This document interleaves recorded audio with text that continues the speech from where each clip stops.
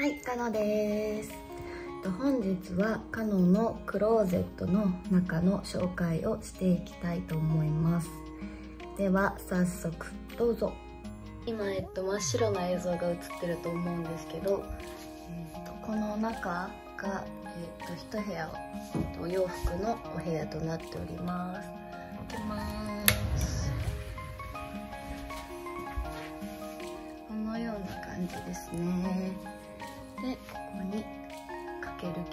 お洋服が入ってます。まずはバッグですかね。バッグは黒が多いですね。黒のレザーっぽいのが好きでここら辺はよく使ってます。でカバンの下のこのタンスのところにと洗ったお洋服を置いています。ここはえっと、冬服の段だとか分けて入れてあります。でこちらがクリーニング済み麗なお帽子たちです。結構ねいろんなお帽子があります。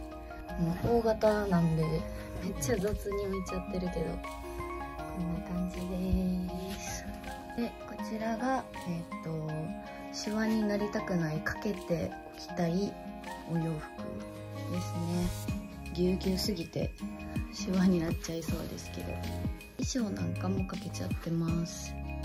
これは、えっと、お店でデニムの日っていうのがあるんですけどその日とかに着たりするセットアップ風のデニムの上下です。私、えっと、服を1回着て洗濯するんじゃなくて2回着たら洗濯する制度にしてて服あんまり洗いすぎたりクリーニング出したら傷んじゃうってことで1回着て、まあ、汚れててこっちには入れたくないお洋服とか帽子を今度ここに入れてます。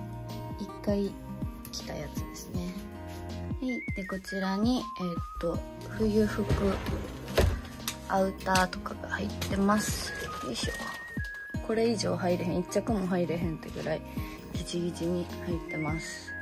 やっぱ冬服はかさばるんでもうこれ以上増やされへんかなって感じです。でこの下にはえっとお店、えっと、ピンクで使う、えっと、衣装が入ってます。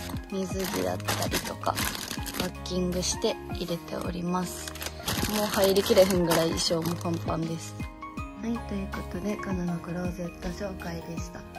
いかがだったでしょうか？何か参考になればなと思います。バイバーイ。ヤッホーリオンです。今回は私のクローゼットの中身をお見せしていきたいと思います。それではどうぞはいここがリオンのクローゼットになります。前にあのナッツのクローゼット紹介一度したことあるんですけどその時は東京での一人暮らしのクローゼットの中身をお見せしたんですけど今回はちょうど大阪に帰省していたので大阪の実家でのクローゼットの中身の紹介になります。前家土地された時に一度ちょっと見せたことあるんですけど少し変わってるところとかもあるので最後まで見てもらえたらなと思います。まずここら辺がバッグとかになりますとか帽子とかになります最近購入したものはこのクロムハーツのキャップを購入しました。これがアンジュちゃんと一緒に買い物行ってた時にめっちゃ可愛いって一目惚れして購入しました。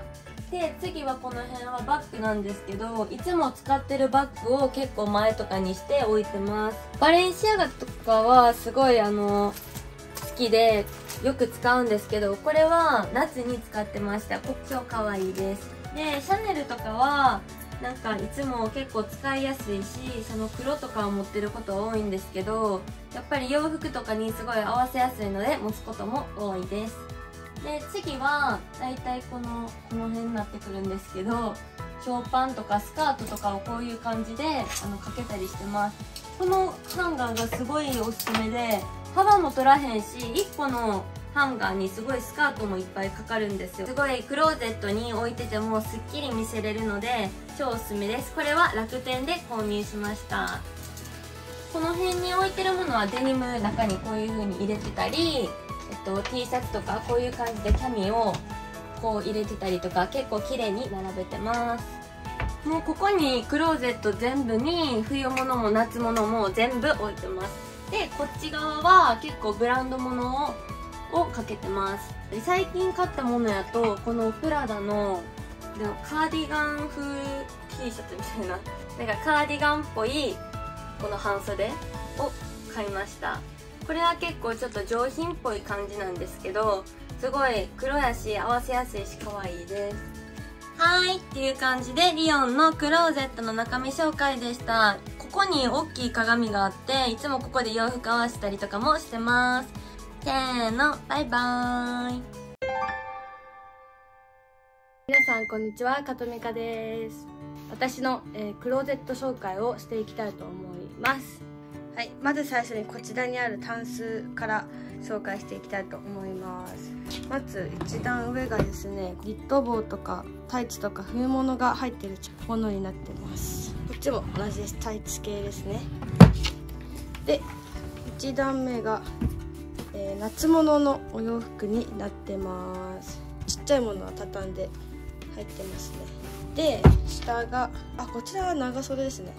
もうあの秋になるっていうことで長袖もしっかり入ってます。はいってことで次3段目がこれも冬物ですね。ニット薄いニットとかこれ新品ですね。入ってます。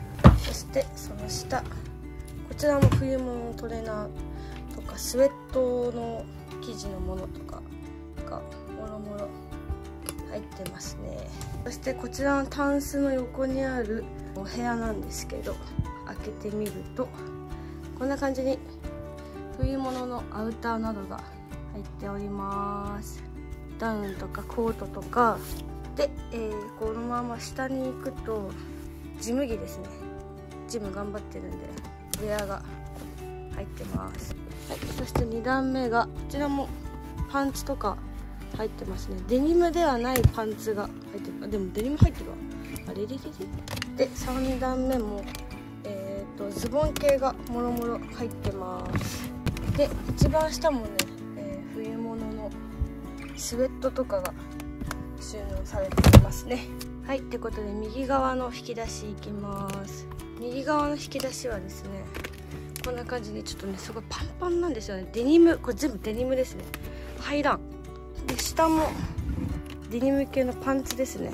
全部どんどんいきますよ。こちらもデニムのパンツがこちらほら入っています。で下が、えっと、パジャマ系ですね。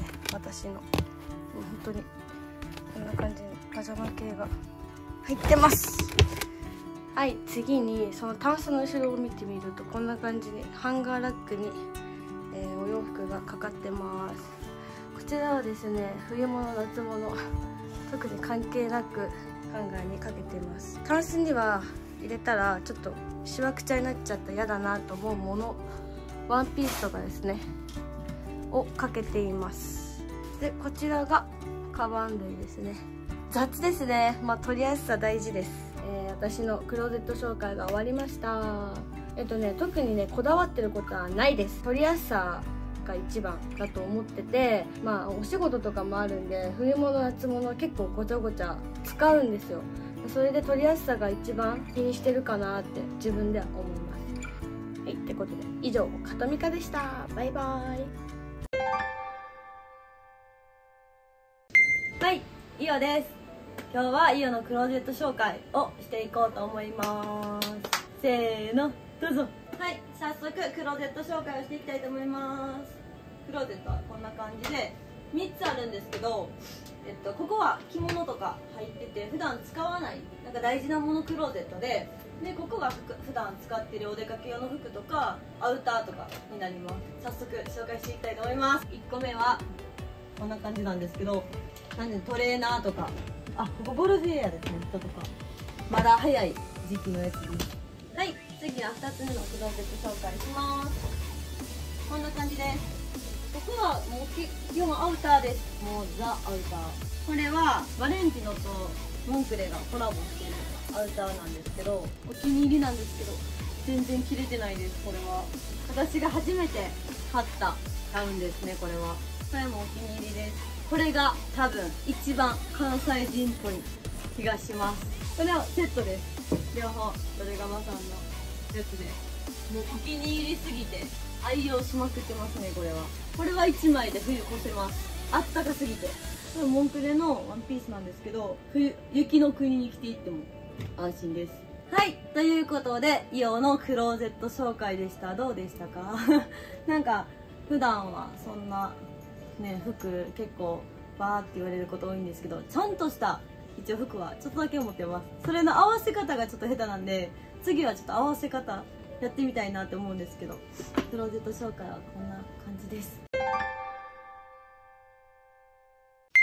はいこんにちはアンです。はいえ本日はクローゼットの中身紹介ということでやっていきたいと思うんですけどもえー、っとですね私今引っ越し真っ只中で荷物がほとんど段ボールの中に入っていてないんですね。